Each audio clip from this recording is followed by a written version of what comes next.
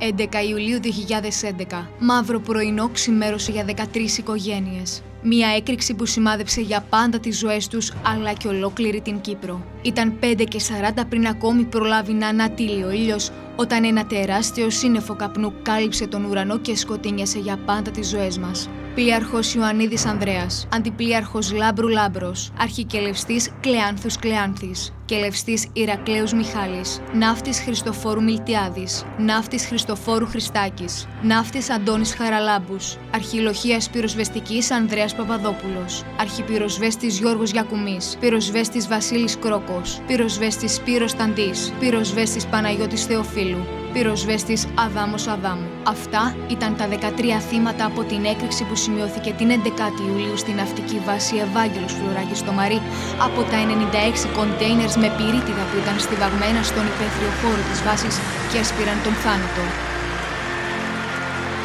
11 Ιουλίου 2017, 6 χρόνια μετά στο Μαρί. Τίποτα δεν έχει αλλάξει. 13 σταυρίδες πόζουν στο χώρο της τραγωδίας. Οι μνήμες ξαναζωντανεύουν μπροστά στα μάτια των οικογενειών των 13 θυμάτων της φωνικής έκρηξης. Επικεντρώνουμε όλες μας τις δυνάμεις για αυτόν τον ιερό χώρο, για αυτόν το εκκλησάκι που είναι αφιερωμένο στους Κύπριους νεομάρτυρες, που είναι θεμελιωμένο πάνω στις σάρκες, στα οστά, στο αίμα των αγαπημένων μας ανθρώπων.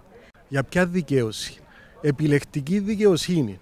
Ήταν μια καθοδηγημένη η οποία, μια καθοδικημένη διαδικασία, την οποία είδατε όλοι και τελικά μιλούμε ότι ανάλαβε το κράτος όλη την ευθύνη. Μα το κράτος ένα πρόσωπο. Είναι άτομα τα οποία εδιοικούσαν το κράτος. Σήμερα ναι η σημερινή κυβέρνηση έχει αναγνωρίσει τους 13 αλλά εμείναμε στην αναγνώριση. Έξι χρόνια μετά εμείς είμαστε πάλι εδώ δυστυχώς να αποδώσουμε φόρον τιμής στους ήρωες μας Βέβαια με την, πάντα με τη μαύρη καρδιά ότι δεν έχει ακόμα αποδοθεί η δικαιοσύνη. Δεν περιμένουμε βέβαια να αποδοθεί τώρα έξι χρόνια μετά. Τρισάγιο τελέστηκε εις μνήμη των 13 στο εκκλησάκι που κτίστηκε στην ναυτική βάση στο Μαρί. Την επιμνημόσυνη δέηση τέλεσε ο Μητροπολίτης Λεμεσού Αθανάσιος στην παρουσία του Προέδρου της Δημοκρατίας Νίκο Αναστασιάδη, του Υπουργού Άμυνας Χριστόφορου Φωκαίδη και άλλων αρχηγών και εκπροσώπων κομμάτων. Ο πρόεδρος Αναστασιάδης μίλησε μετά το Τρισάγιο ενώπιον συγγενών των θυμάτων, αξιωματούχων της πολιτείας και της εθνικής φρουράς. Κυρίες και κύριοι, είναι δύσκολο να μπορέσει να αναλύσει κανένας τον πόνο σας, εσάς, σεβαστή συμπλημή, με λόγια. Μα θυμάστε ότι οι άνθρωποι σας φύλαξαν ως χώρο εχθαρμού τα σώματα ασφαλείας, την εθνική φρουρά και το δημόσιο συμφέρον που τους εμπιστεύτηκε Κατά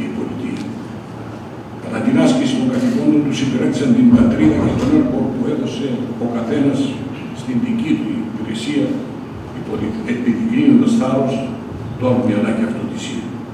Και όταν ακόμα οι περιστάσεις το απέτησαν, δεν δίστασαν για τις αξίες αυτές, αλλά και την τιμή της υπηρεσίας και της πατρίδας.